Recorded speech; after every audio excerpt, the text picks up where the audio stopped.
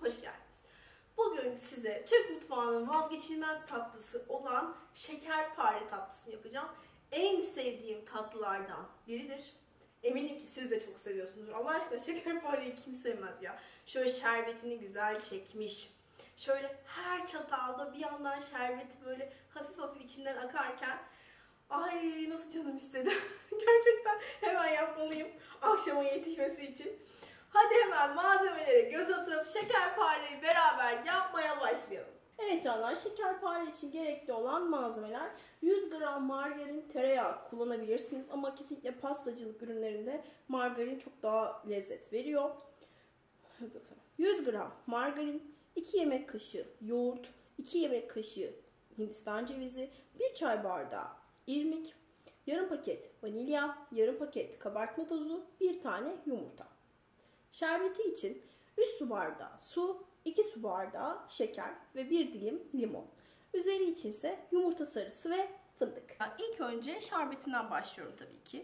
2 su bardağı şekerimi ekliyorum.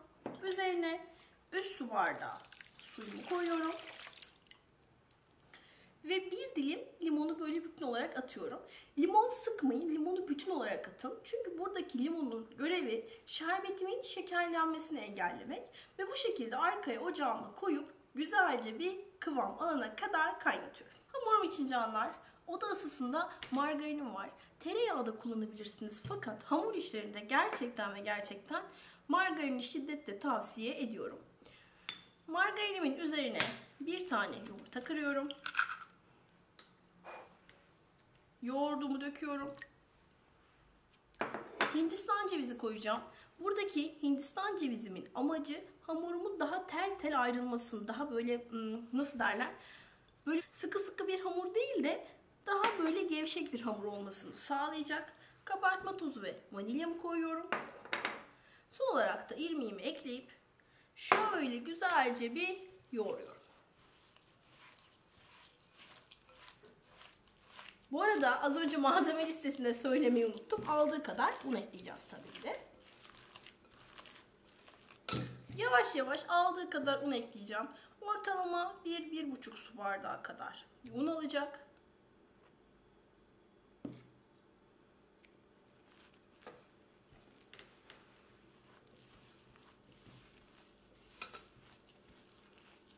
Yapışmayan bir hale gelene kadar un ekleyip hamurumuzu yoğuruyoruz.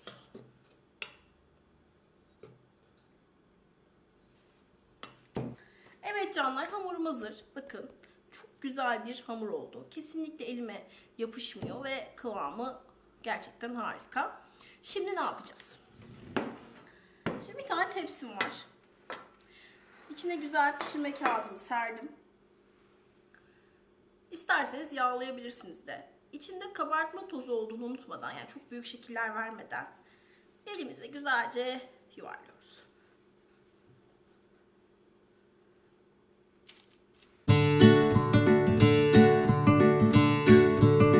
Evet canlar yuvarladığımız şekerparelerimizi şöyle azıcık avucumuzun ayasıyla bastırarak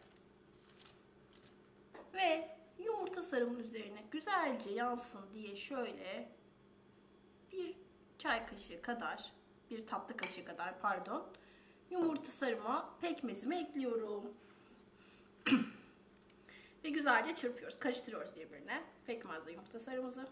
Evet canlar, daha sonra şekerparelerimin üzerine pekmezli yumurta sarılı karışımından güzelce her yerine gelecek şekilde sürüyorum.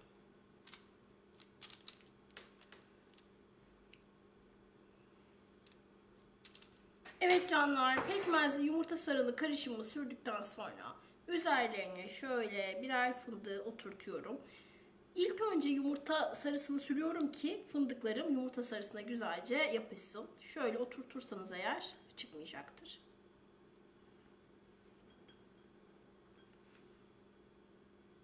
Evet canlar şekerparelerim hazır. Önceden ısıttığım 175 derece fırınıma şekerparelerimi yolluyorum. Evet canlar gördüğünüz üzere şekerparem muhteşem şekilde pişti. Bu gördüğünüz siyatılar e, pekmezden dolayı o renk halini alıyor. Şerbetim de hazır oldu. İkisi de sıcak olmalı canlar. Şekerparelerimi hemen çıkardım. Hemen üzerine bakın. Jos diye sesi duyuyor musunuz bilmiyorum ama sıcak şerbeti hemen üzerine döküyoruz.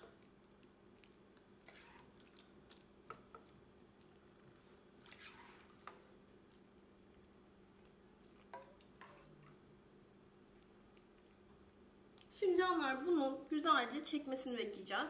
Bir 15 dakika sonra şu şekilde, şimdi daha şu an çekmedi de şu şekilde arkasını çevireceğiz. Biraz da üstü şerbet çeksin diye bekleyeceğiz.